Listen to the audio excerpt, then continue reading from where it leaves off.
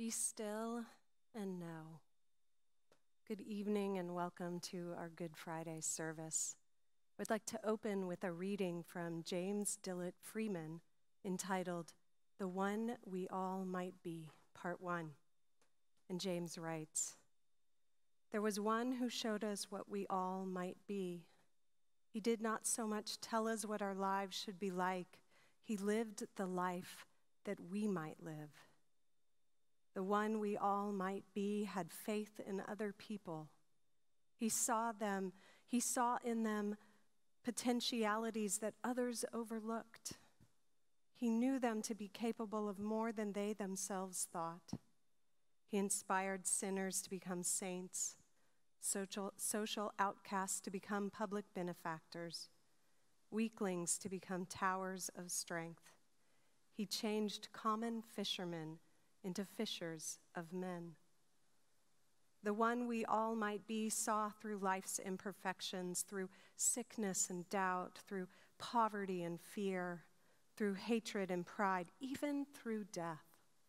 And he called forth wholeness, faith, joy, love, and life.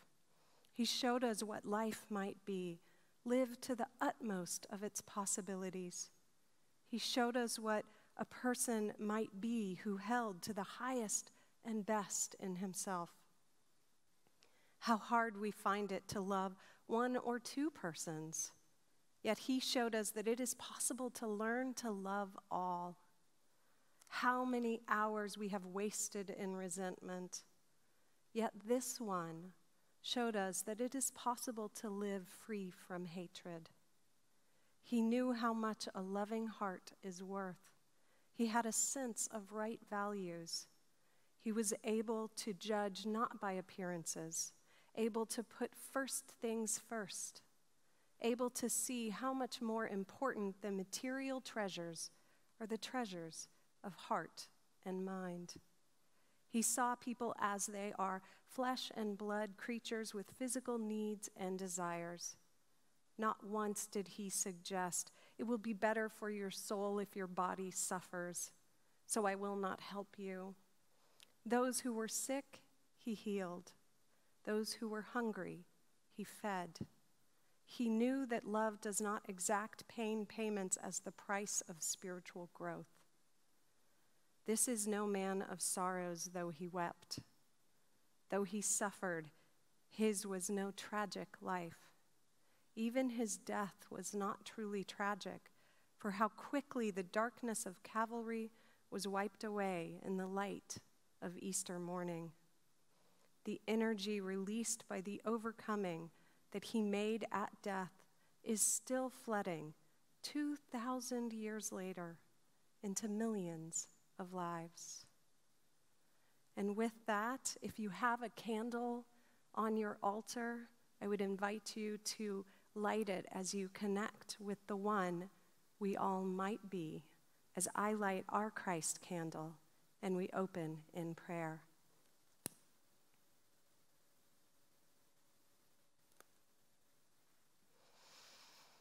In living a loving presence, it is with deep gratitude for this one that we all might be, this great example, that we are here to celebrate this Easter weekend, to connect heart to heart with one another, and more importantly, most importantly, with that Christ presence within, that we allow that presence within us to come to life and to allow it to radiate forth as wholeness, as peace, as love, that we too may be a great example, that we too may demonstrate what it means to be in total alignment with that presence of life, of God shining through us. It is in this knowing that I bless this Easter weekend that we all may renew and reawaken and center in. And with that, we say, Thank you, God. And so it is. Amen.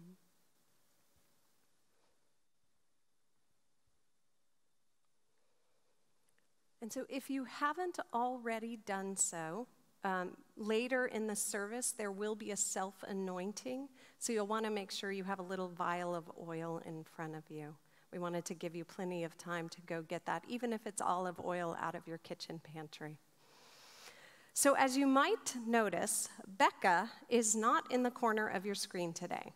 And that is because we are giving them and our deaf and hearing impaired congregants a special ASL interpreted version of the service. We'll be sharing that special version on our website, YouTube, and Facebook within the next day or two. We have a lot of fun and meaningful activities planned for this Easter weekend. And that begins, obviously, here. And then um, on Easter morning at 7 a.m., we will have a special sunrise guided meditation on our Facebook page. Then at 8 a.m., you are invited to join licensed Unity teacher Debbie Cole for our contemplative service. That will also be streamed on our Facebook page. Now, while we can't all gather for pancakes in Friendship Hall, our chef extraordinaire, Shonda Birch, will be hosting a virtual pancake making show at 9 a.m. on Facebook Live. The show is virtual, the pancakes are real. Um, and if you love cooking shows or you just want to see the magic that is Shonda cooking in a kitchen, I promise you, you will want to tune in for that. So we are launching this Sunday virtual fellowship, and that will happen at 10:45 a.m. prior to our main Easter service. Our hope is that this will feel just like the spontaneous gatherings that happen here on Sundays in the foyer and Friendship Hall and in the hallways. So you can join a group, have a conversation, or just listen in, engage and connect, and then hop onto another meeting to say hello to some of your other friends. Several hosts have stepped forward, and you can find all of the details on our virtual fellowship page.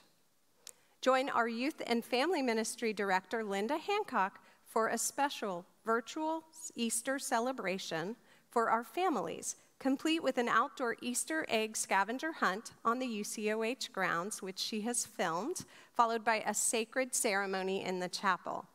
Look for separate videos for the indoor and outdoor events, which will be made available on all of the Youth and Family Facebook pages.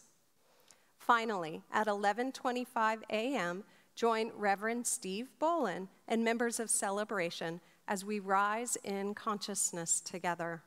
Our main service will be streamed to our website, Facebook, and YouTube.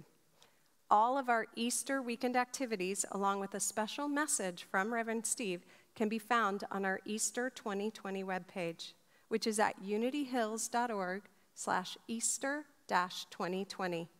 And whether you join us for one or all of those activities, know that our hearts are connecting with you and that we love you very much.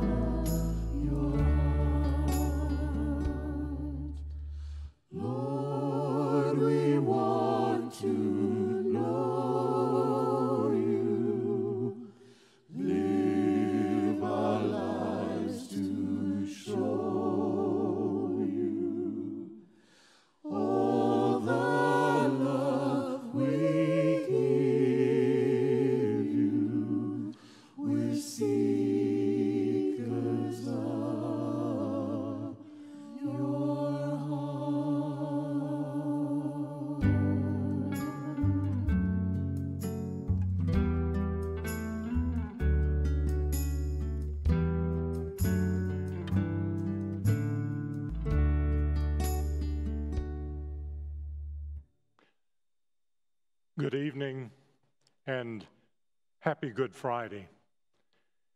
When I sat with what it would be that I would speak to you about tonight, I thought, well, let's see.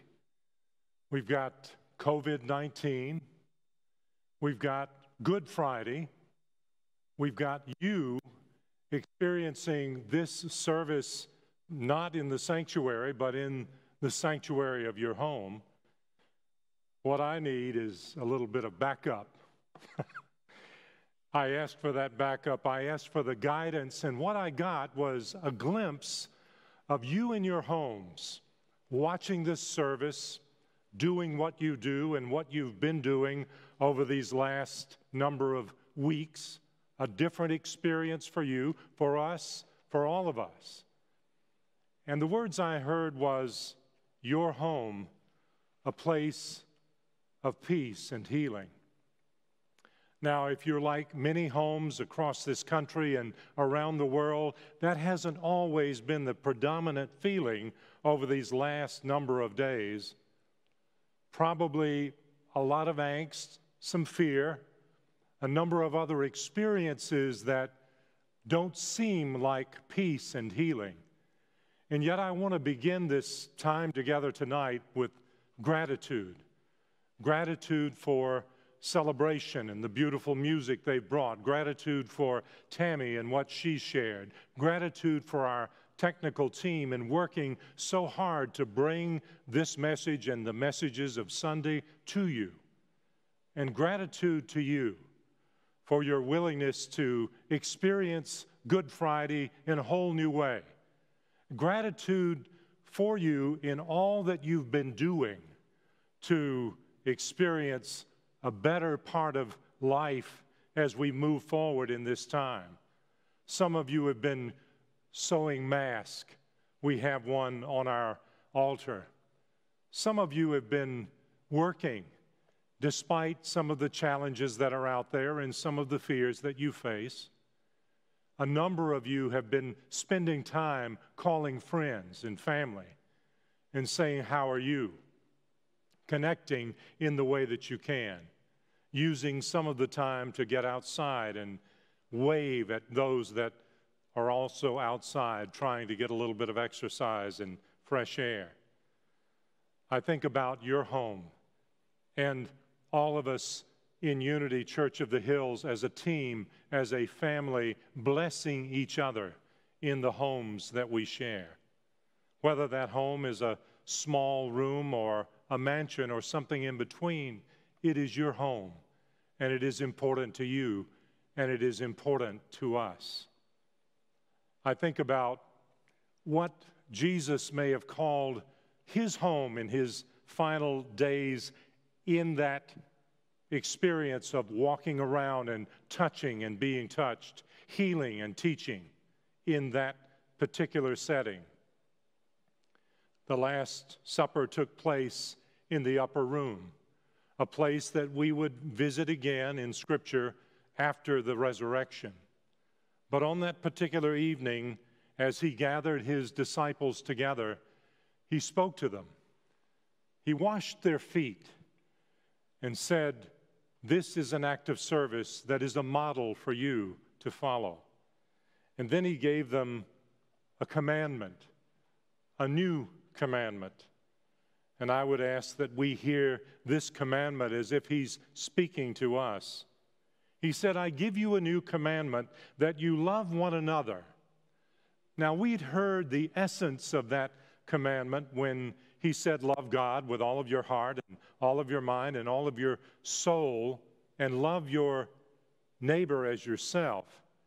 But He added a piece to this commandment for His disciples and for all of us who are called to follow him as a model. He said to them, I give you a new commandment that you love one another just as I have loved you.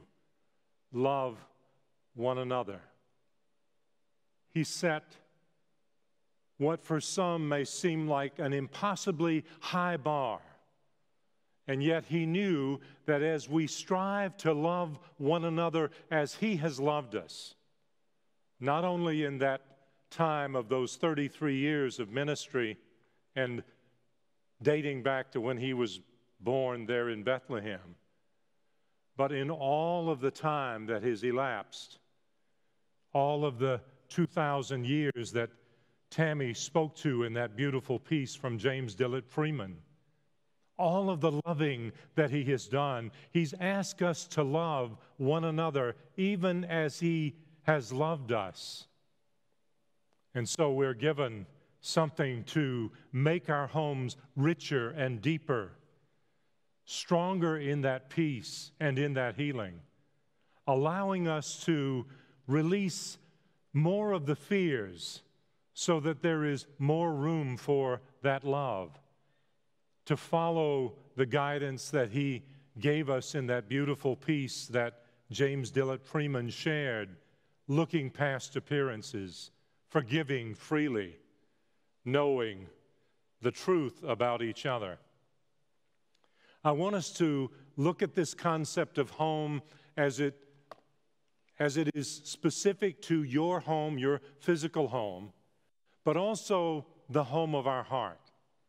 And finally, I want to talk for just a little bit about the home that is our spiritual home, this spiritual community that we call Unity Church of the Hills.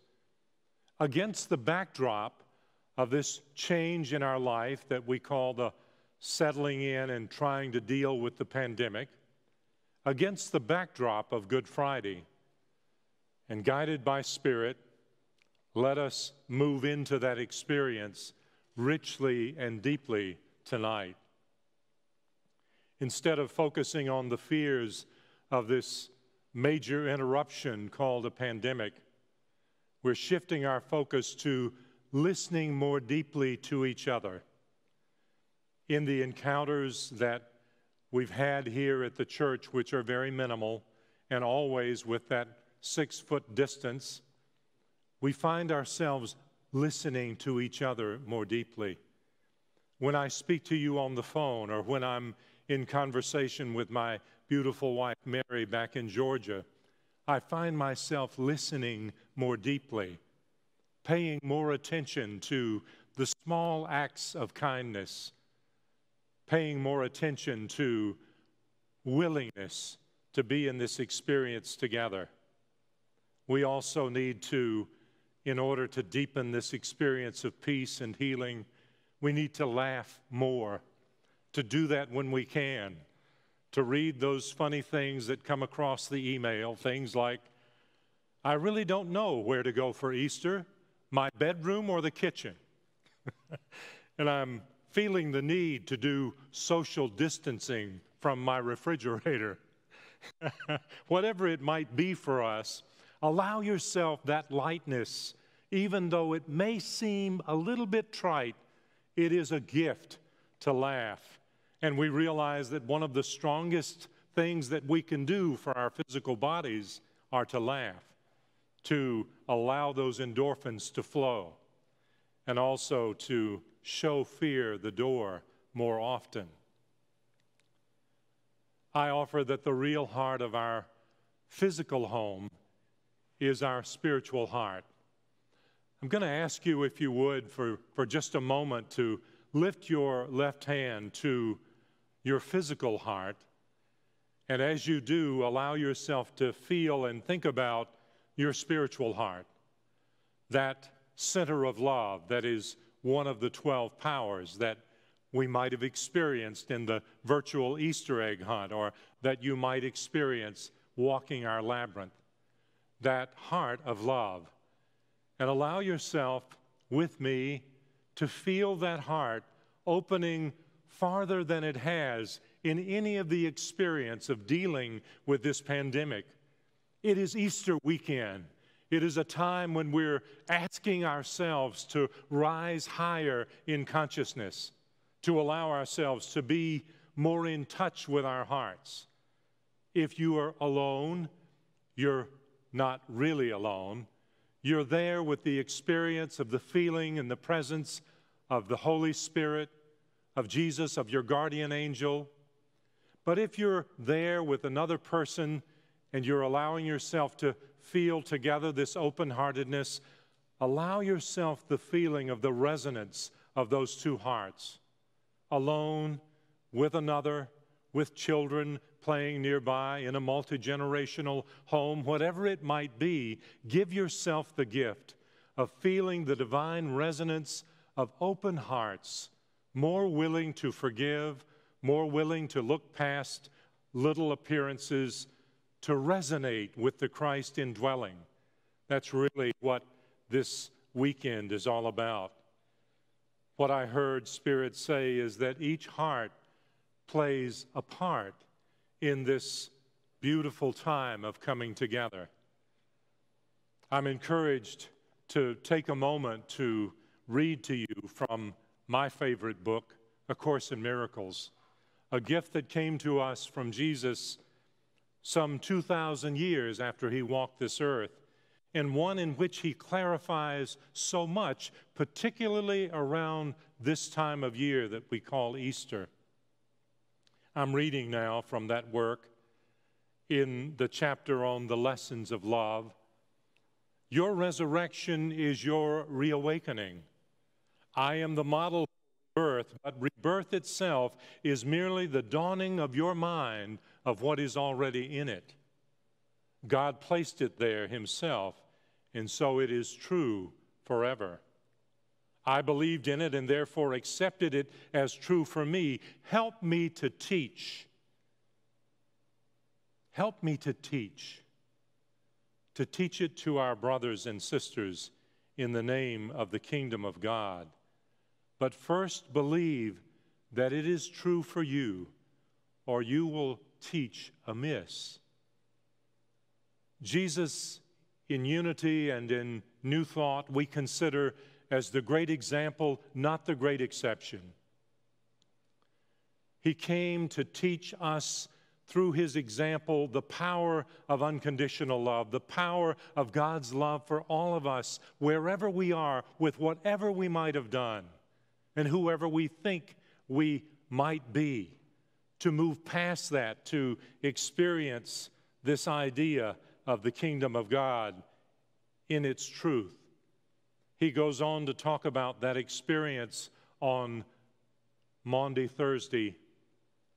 My brothers slept during the so called agony in the garden, but I could not be angry with them because I knew I could not be abandoned.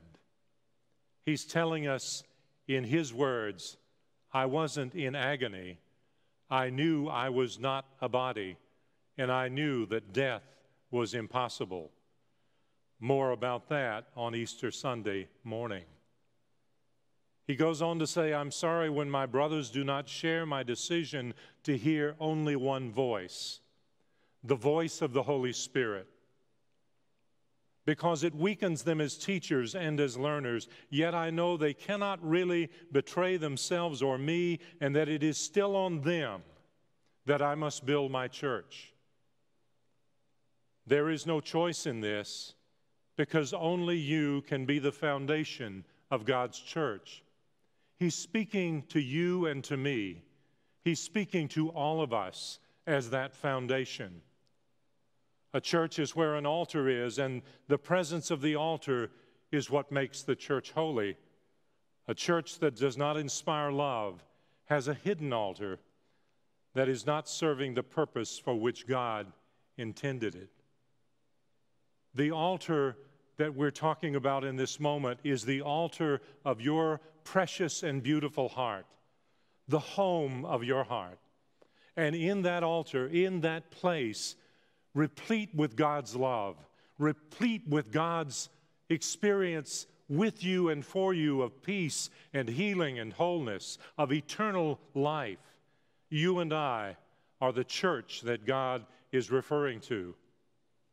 I want to move now to talking for a moment about the home that is our church, our Unity Church of the Hills, our spiritual center, this beloved place that most of you who are experiencing this service tonight have experienced, but for some, maybe just hearing about it, or perhaps you're far across the country experiencing our time together. I'll tell you just a little bit about this amazing place. It is a place that is centered in love. It is a place that is centered in a love and respect for each other. Do we do it perfectly? oh no. But we do it with an intention to look past an appearance, to go past it and past it and past it, asking for all the help we need until we find again that place of oneness, that place of wholeness, that place of peace and healing. And so it is a place that is welcoming, accepting, kind, and loving. It is a place that is giving. It gives to this community, it gives to work that is worthy all the way to South Africa for a decade, more than a decade of time, making dreams possibilities there and around the world in the way that it's guided, it reaches out and touches. But the greatest work that it does is in the loving from your home, from this home, from the places where we go and allow our light to shine. It is a light and a smile and a touch and a warmness that we always don't always see, but we know is going out, multiplied by the Holy Spirit, touched by the presence of love. That is a beautiful gift that is central to this amazing place and work that we call Unity Church of the Hills.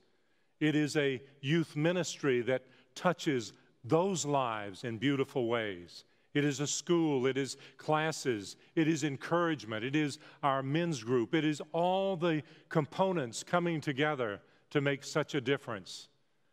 And so, yes, the heart, the heart that is the heart of your home, that my wish is for you that you experience God's peace and healing more deeply. And that as you show fear the door, fear of an illness, fear of something happening to a loved one, fear of something happening economically across our country or to you where you are, that that heart of yours is encouraged by the message of tonight. That that heart of yours, as we bring our focus now back to our spiritual heart in the place of our physical heart, beating strong in this divine idea, knowing that it is fully worthy. I hear the words of Jesus when he spoke to one of the quote criminals on each side of him one, if you remember, was deriding him in some way, saying, Well, if you're the Messiah, then why don't you free yourself and us with you? And the other one chided him and said, You and I are paying a price for a crime that we committed. This man has committed no crime. And Jesus, looking at the man, and the man said to him, essentially, put in a good word for me, if you will. When you come into your kingdom, put in a good word for me. And Jesus turned to him and he said, This day shall you be with me in paradise. This day. Now, here was a man who had obviously made a mistake in the eyes of the law been sinful, created challenge and trouble, and was, quote, paying the price. Jesus demanded and exacted nothing from him. He was there with the fullness of his love and his spirit and saying, This day you will be with me in paradise, knowing that there is only life, there is only wholeness, there is only this kingdom of God and so here you and I are with wherever we may be in our walk on this Good Friday, having been fearful, dealing with an illness, worried about someone or something, whatever it might be. And Jesus is saying to each of us, in this moment, you shall be with me in paradise. We don't have to leave this physical incarnation to get there. But when we do, then there is nothing, nothing that keeps us from that deeper experience.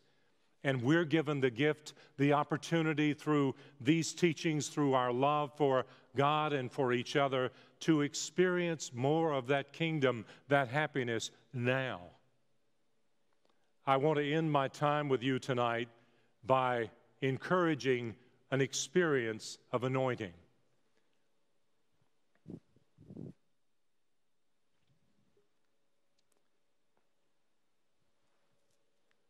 I'm going to lead us into a meditation.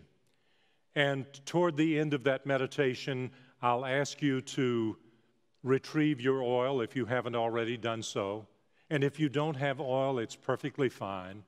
We're going to simply use this as a symbol for receiving the Christ idea more deeply in our hearts and minds, for letting it come to the surface in our lives in such a way that we don't leave this night the same as when we entered it. And so I ask you now to close your eyes if you're comfortable doing so, if that's possible for you where you are. And allow yourself to breathe deeply and make that beautiful sigh that the youth of unity so beautifully remind us of as you exhale, breathing in. Ah, and breathing out.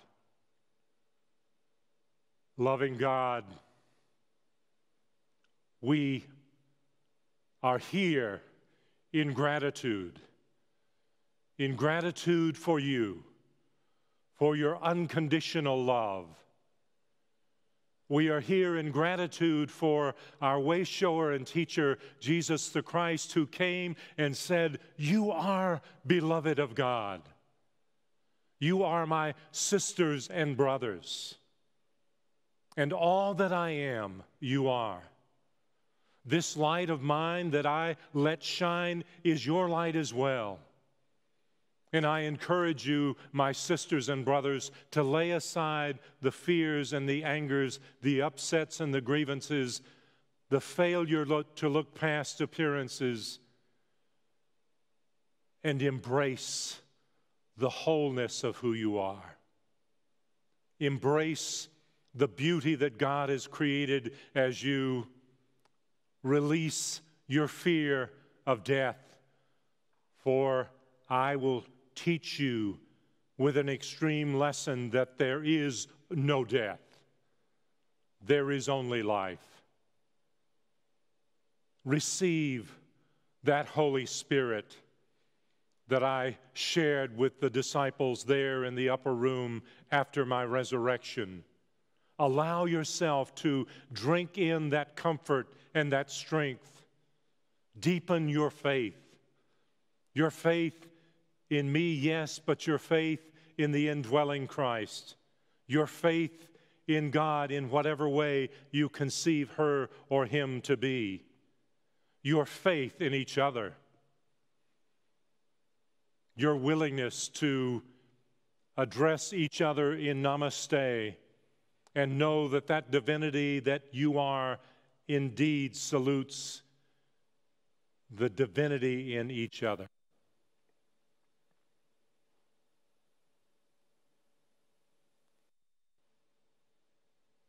We take a moment as we reflect on the act of anointing, experiencing that a little bit differently in this time and we allow ourselves to feel the indwelling Christ rising up, doing the anointing.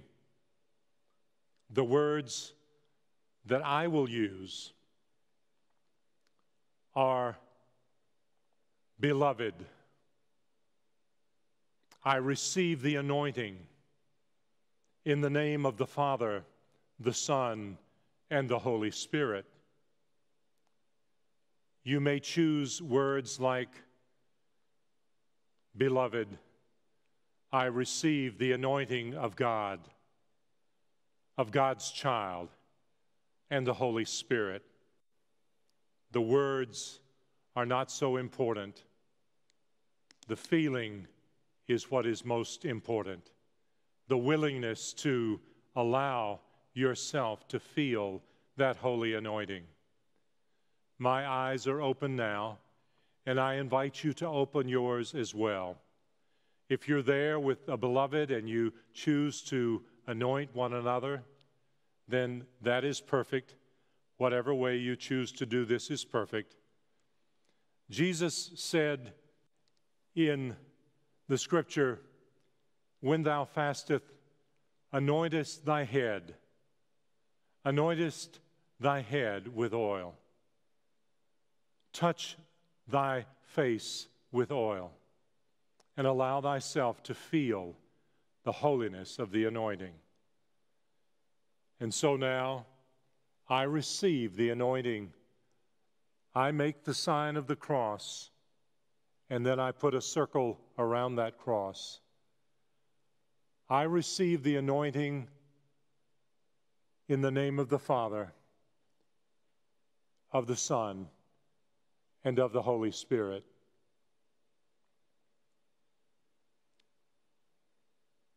Beloved, as you are experiencing this anointing in whatever way is perfect for you, allow yourself, if you will, in this moment to feel the presence of the Christ so strong and powerful and clear within you that it fills your mind. And realize that as you move through this Easter weekend, you are given the opportunity to remember this moment again and again. When fear crops up, to show it the door. When a faint heart begins to be felt, to go strong within yourself and feel the presence of our way shower saying, I am here with you. Beloved, in this moment, you are with me in paradise. To feel the presence and the love of this community surrounding you and touching you and lifting you up, holding you in that place of holiness. For it is indeed who you are. And so it is.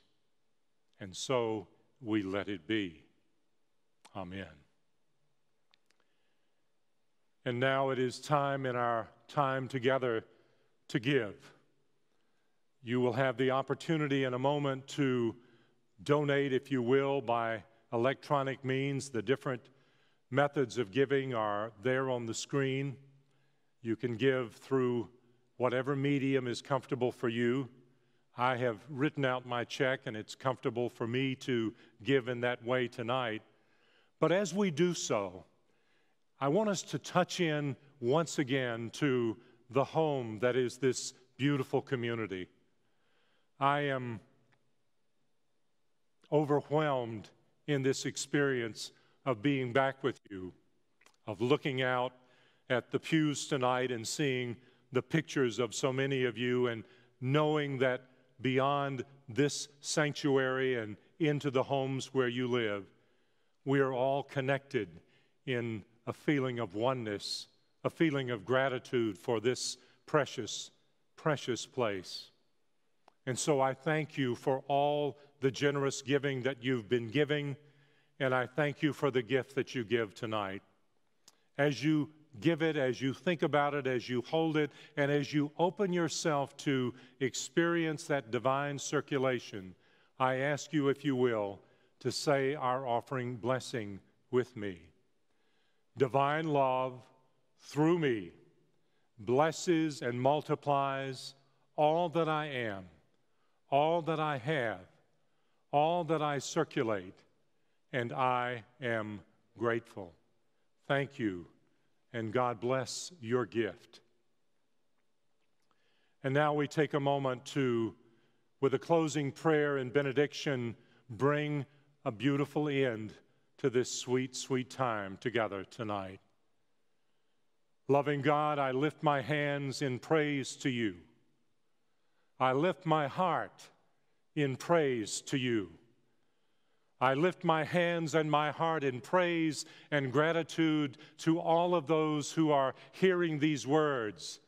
I lift my heart and my hands in praise to all of those hearing these words as they, in turn, in their own perfect way, lift their hearts and their hands to bless their homes, to bless their lives, to bless the lives of others who are part of their lives, to bless this spiritual home. I lift my heart and my hands in gratitude and in praise to this community as we send this blessing out to all the world, recognizing that as we do so, the Holy Spirit takes our willingness and multiplies our willingness thousands of times to touch the hearts and minds of every heart and mind around this world. All those minds and hearts coming into these incarnations and those precious beings who have stepped out of this incarnation, leaving no one out. No one out. We are all bathed in this divine light, and for this we are grateful. And so it is. Amen.